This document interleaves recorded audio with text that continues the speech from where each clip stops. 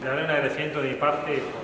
No pocos construyen lo que han construido, han logrado armar algo muy bueno y una humildad impecable, terrible, que es para destacar. El trabajo que hacen, que es muy calificado, las empresas a las que le venden, que la verdad que es, muy importante, así que la verdad como intendente un orgullo eh, contar con empresas como usted. Cuando uno visita esta, esta industria da, mucho placer. ¿eh? Por el don de gente, insisto, que no se ve todos los días y además por lo que han construido.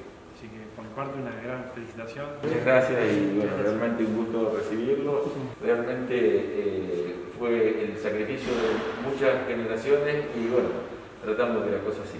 Estamos en la firma Cirigliano, acompañados por Sergio, uno de los representantes de, la industria y el intendente de Junín, Pablo Petreca, recibiendo a las autoridades municipales, Sergio, bueno, eh, mostrando un poco lo que es el trabajo todos los días aquí en, en Cirigliano.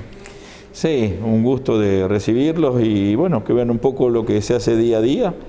Este, hemos eh, mostrado algunos equipos pesados para la parte de minería que estamos produciendo. La intención es seguir de la mejor manera posible este, con lo que se fundó en 1920 o cuando se pagó el primer recibo de impuesto por don Pascual Cirigliano. Seguimos siempre con el, con el sector agropecuario, con el sector industrial y con el sector minero y bueno, tenemos la esperanza de seguir invirtiendo tanto en, investigación y desarrollo como también en maquinarias para seguir progresando y bueno, y hacer lo que hicimos desde siempre. La verdad que es un placer cada vez que uno puede recorrer esta firma que 100% jubilense, ¿no? la, familia Ciriliano, le da mucho orgullo ver el trabajo, ver la pasión con la que realizan sus trabajos, ver la dimensión que tiene, que la verdad que no, no seguramente los jubilenses no no tienen la importancia que los trabajos que se realizan, los, lugares donde se, puede vender.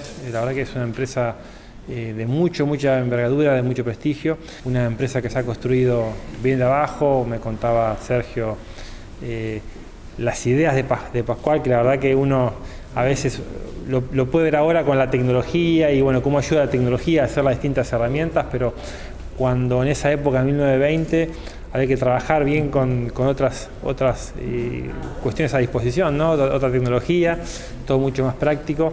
Bueno, tremendo el, museo que allí tienen con la historia viviente de la firma y con lo que representó sin duda Pascual y, toda la familia siciliana. Así que la verdad para mí es un orgullo poder acompañarlos en estos 100 años, recorrer una vez más la firma, recorrer el museo, ver parte de la historia. Esto es 100% juninense, es orgullo de Junín.